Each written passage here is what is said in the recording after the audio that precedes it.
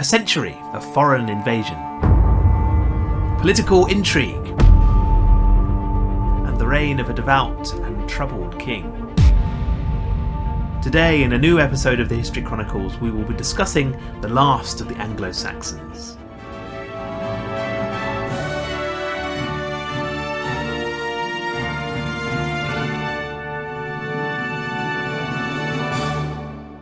At the beginning of the 11th century, England sat in an uneasy position. To the east, across the cold expanse of the North Sea, lay the world of the Viking. From 1016 to 1035, England had been ruled by a Viking, the Danish King Canute. His reign was a product of two centuries of Viking influence in England, a presence that was particularly felt in the northeast of the country, the so called Danelaw. Since the 8th century, the Vikings had raided the English coast from their homelands in modern day Denmark, Norway, and Sweden.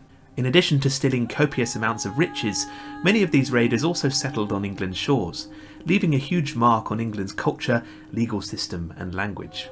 In 1013, the aptly named Sweyn Forkbeard had launched a massive invasion that had enabled him to take the English throne. Sweyn had died, however, shortly after this triumph, leading to an Anglo Saxon uprising under the elderly Ethelred, who became King of England in 1014. Nevertheless, in 1015 Sweyn's son Canute was in a position strong enough to launch another sizable invasion of England.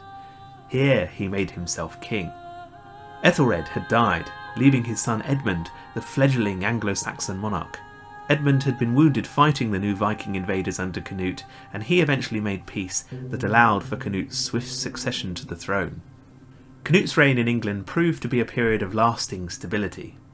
He quickly executed his rivals among the Anglo-Saxon aristocracy and married Queen Emma, the widow of the deceased Ethelred. He was able to raise huge sums of money to pay for his military campaigns back in Denmark, where he faced significant opposition from the King of Norway. However, this stability did not last long. His son Harthacnut succeeded Canute after his death. But after Harthacnut being too long in Denmark, according to one chronicler, where he was dealing with rebellion, he was quickly replaced by his younger brother, Harold Harefoot. Harefoot, so called by monastic chroniclers because of his speed at travelling around the country, also did not last long as king. He died in 1040, paving the way for his sibling, Harthacnut, to finally stake his claim to the Kingdom of England. But Harthacnut had his own problems. Throughout his life, he had suffered from illness, thought to be tuberculosis. While attending the wedding of one of his followers in 1042, Harthacnut appears to have consumed a great amount of alcohol. Here he suddenly fell to the ground in a seizure, and while this could well have been poison, it was perhaps more likely to have been a stroke given his illness at the time. In any case, Harthacnut's death in 1042 provoked a new controversy. Who would be heir? Harthacnut had no official children to take his place. An agreement he had made with Magnus the Good, the King of Norway, had secured the inheritance to the throne of Denmark. However, the English throne presented a new problem. So, where were the Anglo Saxons in all of this? This is England that we have been talking about in this episode after all. We have seen them in a piecemeal fashion so far in the 11th century, causing problems for Canute and his successors when opportunities arose. But now, following the death of Harthacnut, the Anglo-Saxon royal line were to step in and play a more active role in England's future. In 1013, this royal line had fled England across the Channel to Normandy, where it had sought refuge in the face of the massive Danish invasion led by Sweyn Forkbeard. The family had a strong connection to the Norman duchy via a lady called Emma of Normandy, daughter of the Norman ruler Richard the Fearless. Emma had married the unpopular English king Ethelred in 1002, with whom she had had three sons Edmund, Edward, and Alfred. While Ethelred, the Anglo Saxon who was to briefly become Sweyn's successor in 1015, returned to England with Edmund, his eldest son, Edward, remained in Normandy. It was this Edward that was to spend around 25 years living in Normandy, where he spent his childhood. Here he had a close relationship with the Norman Duke, Robert I, who had even planned a failed invasion of England in 1034, possibly to install the young Edward on the throne. Edward learned French, the language of the Normans, and even witnessed charters in the duchy. In these, he styled himself as the King of England, even as Danes ruled his homeland. So it was that the Anglo Saxon royal line developed a strong connection with the Normans on the continent. Edward had returned to England in 1036, shortly after the death of King Canute. He had with him his brother Alfred, who, as a potential rival to Canute's son, was quickly captured by a man called Earl Godwin.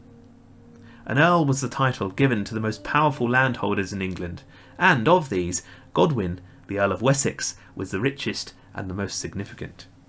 In 1036, Godwin handed over Alfred to the king, Harold Harefoot, who proceeded to have Alfred blinded using two hot pokers shoved into his eyes. The story is brutal, but the purpose was simple. As a blinded man, Alfred would be no longer able to rule. He died shortly after. Tension was to remain between Edward and Godwin, the English earl who had facilitated his brother's cruel demise. In 1037, Emma and her son were expelled once more, again seeking refuge in Normandy. In 1041, however, events were to take a more promising turn for the young Edward. Harthacnut, growing older and evidently more sickly, invited the prince back to England. Why the U-turn for the Danish king? As we have seen already, Harthacnut had no heir in England, and here, at the recommendation of his chief earl, Godwin, a guaranteed heir in Edward was better than the chaos and instability that might otherwise result from the death of the king. And, as we shall see, Earl Godwin may well have believed that the young Edward could be easily swayed and influenced to his liking. In 1042, Harthacnut died. Edward was acclaimed king and crowned in Winchester, the seat of the Anglo-Saxon treasury. Earl Godwin already showed his backing for the new king, gifting young Edward with a large ship. From the beginning, Edward demonstrated his support for the Godwin family in kind. He gave earldoms to Godwin's sons who were old enough to receive them. Sweyn was to be the Earl of Herefordshire, Harold the Earl of East Anglia. Godwin's nephew Bjorn even received lands in the East Midlands.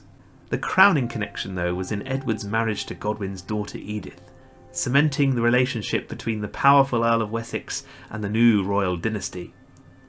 Surprisingly, Edward also acted against his own mother immediately after taking power. He seized her land and deprived her main adviser, Stigand, of his bishopric. It is difficult to see if this action was taken due to the influence of Earl Godwin, but it appears that the removal of Edward's only possible ally in England was likely to be beneficial to the Earl. In 1042, the Godwins dominated England. As Edward's reign developed, however, the power of England's leading family began to come into question. In 1046, Godwin's son Sweyn embarked on a military campaign in Wales that resulted in the dishonourable abduction of the Abbess of Leominster. This lady, a lady called Eadgifu, was held by Sweyn as long as it suited him, according to the Anglo-Saxon Chronicle. Edward took Sweyn to task for this. He forced him to surrender his land and exiled him to Denmark, where, again according to the Anglo-Saxon Chronicle, Sweyn ruined himself. In this instance, at least, it seemed Sweyn's father, Godwin, could or would do little to intervene on his son's behalf. Similarly, in 1047, Godwin's request for military help against King Magnus of Norway was rejected by King Edward. The Anglo Saxon Chronicle marked Godwin's attempted campaign as a foolish plan to everybody. It seemed as though the Godwins were seeking to act against any future Danish claims to the English throne. Sweyn, the son of Godwin, was to return from exile in 1049, and here he attempted to rally the rest of his family to his cause against the king. In this attempt, Sweyn again failed, the brief campaign against Edward lasted only long enough for Godwin's nephew Bjorn to be killed by the king's forces. As a consequence, Sweyn was again disgraced. He was declared Nithing, the Anglo-Saxon word for outcast, and his lands were passed to Edward's French nephew, Ralph of Mantes. Again, Edward seems to have had the final authority here. It was not long, however, before the entire Godwin family was to challenge Edward's power head on. In 1051, the Archbishop of Canterbury, Eadsige, died. As was customary at the time, the king sought to exert his hand in the appointment of a new archbishop. He chose one of his long-term allies, a Frenchman called Robert of Jumièges. But Earl Godwin had a different idea. Godwin backed the candidate elected by the monks of Canterbury, a man called Ethelric, who just so happened to be one of Godwin's relatives. This friction worsened with the outbreak of a violent scuffle between Godwin's men and the forces of Edward's brother-in-law Eustace in the town of Dover. Edward ordered Godwin to discipline his men, but Godwin refused. Things got worse. Godwin, with his sons, was now summoned before the king. He did not turn up. Instead, he sailed for Flanders, lands on the continent where he too had allies. Godwin's eldest sons, Harold and Leofwine, fled to Ireland. Only Godwin's daughter, Queen Edith, was left at Edward's court. Despite the fact that she was Edward's wife, the king had her sent to a nunnery. Following Edith's departure, Edward now proceeded to fragment Godwin's power base in England. Godwin's lands in East Anglia and the southwest were given to Edward's supporters. The king himself took ownership of the earldom of Wessex. Edward had now detached himself completely from the leading power brokers of English politics in the 11th century. But the Godwins were to make a comeback. The following year, 1052, saw Godwin's sons ravage Edward's newly held lands in Somerset and Devon. They met with their father on the Isle of Wight, on England's south coast, and proceeded with an army towards London. Here they confronted the king. He too had called out his fyrd, the Anglo-Saxon army of the day. However, the Anglo-Saxon Chronicle records that the men on Edward's side had no wish to fight their fellow brethren in Godwin's army over such a small issue. Without any fighting men to his cause, Edward was compelled to back down. Godwin and his sons were soon reinstated to their earldoms as the status of the kingdom was reset to one of Godwin domination. For the rest of Edward's reign, the king was to act merely as a puppet of the powerful Godwin family. Earl Godwin himself died in 1053, leaving his son Harold Godwinson as the heir to the family land and power as Earl of Wessex. As we'll see in the next episode, Harold was a proactive earl who did much to preserve the stability of the kingdom with Edward at its head. Nevertheless, Edward's connections with Normandy and the Godwin lust for power set the scene for a momentous power struggle which was to come to a head in the year 1066. I will see you then, when we will discuss the events of one of the most important turning points in English history in the next episode of the History Chronicles. Thank you for watching today's episode of the History Chronicles. I hope you enjoyed it. Do not forget to like and subscribe and click that uh, notifications button as, button as well. Please do also check out our Patreon page and support us if you can. I'll see you next time. Thank you very much.